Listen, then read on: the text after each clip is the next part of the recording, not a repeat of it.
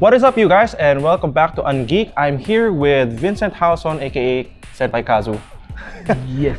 no, no. No, no, no. Vincent Hauson from DAGeeks. Uh, and then we are here at uh, Bangkok, Thailand, because we attended a press conference inside Thailand Game Expo. Diba? Yeah. So this is the PvP Esports Community Championship launch. Yes. Tama ba? Um, it's PvP Esports 2020. 2020, yeah. Launch. Medyo mouthful pa siya eh. But Yeah. you know, they are, you know, starting out in this really good endeavor. Mm-hmm. And uh, I guess quick highlights lang uh, of the day, you know, or at least of, of what was discussed. Yeah. So, um, what was the interesting points siguro for you that was raised? For me, Hmm. it's the increase of games that they're bringing. Yeah. Hmm. I think they're bringing in more for for the community and the regional aspect, Yeah. especially with uh, Mobile Legends, um, Dota 2, Yeah. PUBG Mobile, Mm-hmm. and I'm forgetting the the one game. Wait, wait, Kaya mo yan. kaya ko yun. I forgot.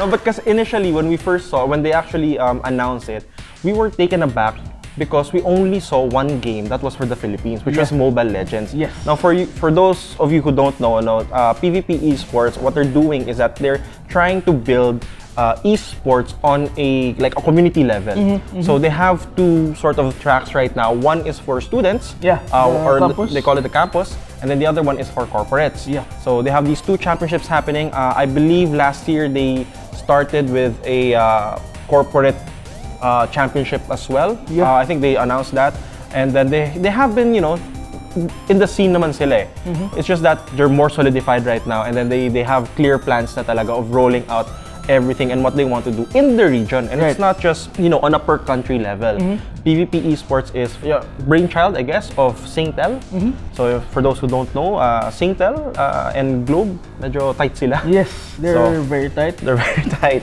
Diba? Ganun yung aspect niya. So, yun nga eh. I think tama ka when what you said na they're bringing in more games. Kasi nagulat talaga tayo eh. Parang, ba't Mobile Legends lang? Diba? And uh, Miss Cindy Tan, the marketing head, I believe, of uh, Singtel, expounded that they're working on, you know, more games for Season 2. They're really trying to Right. study everything. Right. And uh, one of the things kasi that with their presentation nga, Mm-hmm. um, even up to now, for the first season, they have, ayun, natatanda ko ng game, it's League of Legends. Mm, okay. Goodness.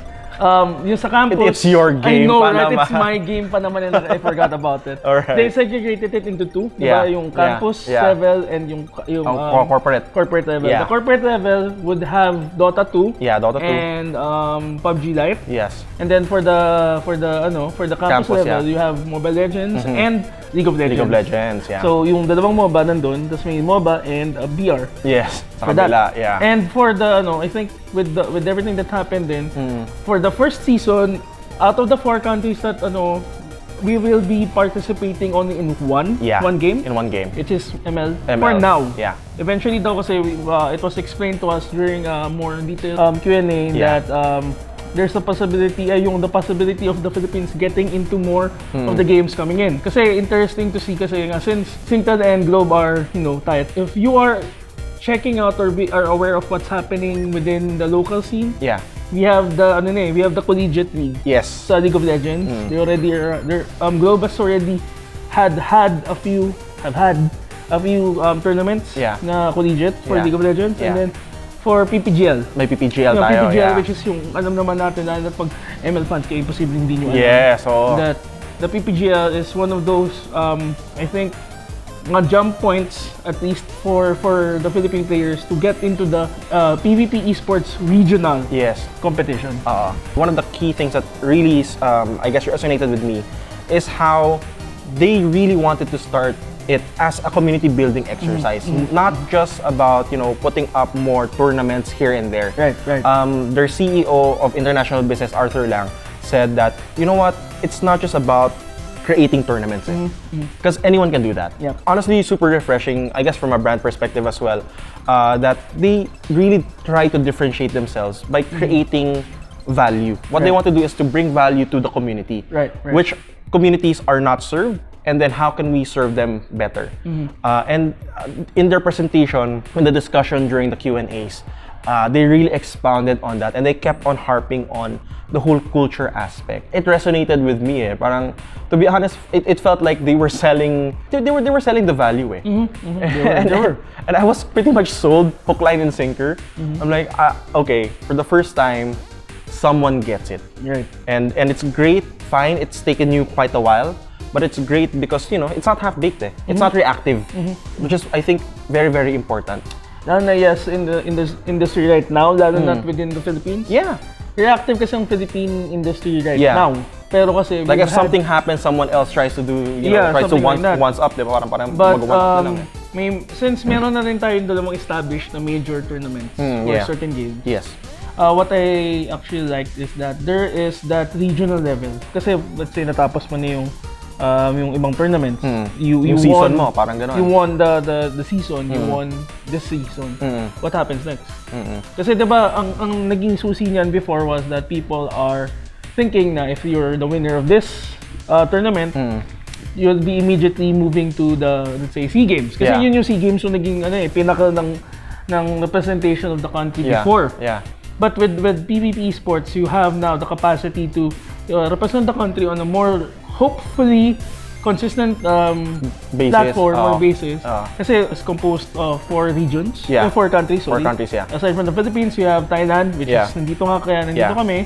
We have um, Indonesia and um, Singapore. Singapore, right. So there's this more regional tournament Yeah. na you can get into that if once na makapasok sa Philippines. Yeah. Kasi with season 1 with just ML, Hmm. how about season 2?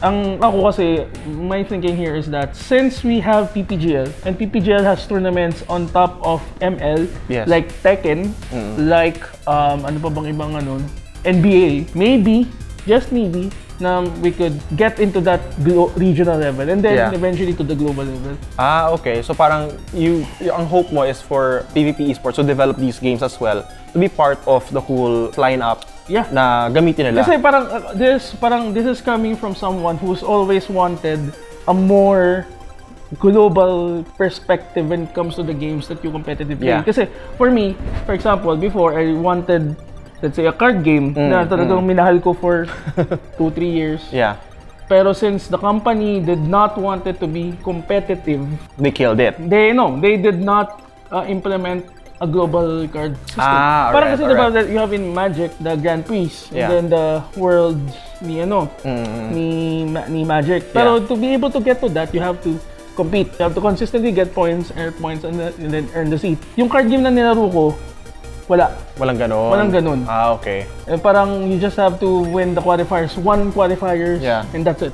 All right. So it's kind of suck. Eh, so I understand the frustration uh, that if you want to be like the competitive. Yeah. Pero with with PvP esports Yeah. um, as a regional entity, you have that capacity now. We just have to wait at least in the Philippines magkaroon nun. Kasi Yeah, that's right. Kasi we were asking them about like, um, what about the Philippines? Mm-hmm. Diba? When are you, or when can we feel the presence of PvP? Right.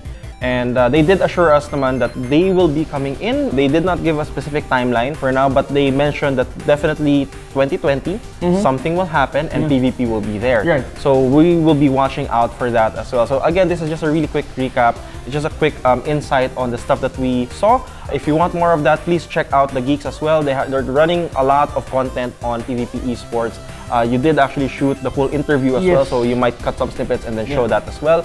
Um, same with Ungeek. Again, it's really just our thoughts kasi parang we wanted to really, I guess, pick each other's brain. We're super excited about this, and it's it's been a while for me eh, to be to be really engaged in um, in in a press con.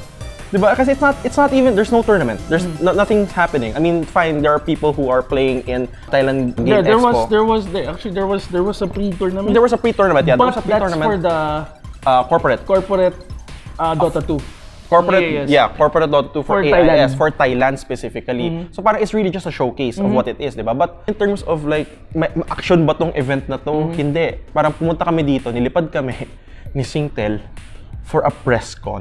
Mm-hmm. And honestly, in the back of my mind, I was like, may, may masusulat ba ako? But Mm-hmm. actually, ang dami kasi ang ganda ng plans nila. And the rollout for me is just like one of the best I've ever seen in terms of like how they're planning to go about it in building a community-based event. Yeah. And uh, with that, uh, I guess we're just, we're gonna wrap this up, no? Uh, and if you have not subscribed to this channel, again, subscribe to ungeek.ph and subscribe to DAGeeks as well. Yeah, we'll see you guys on the next one. Bye bye, guys. Keep on gaming.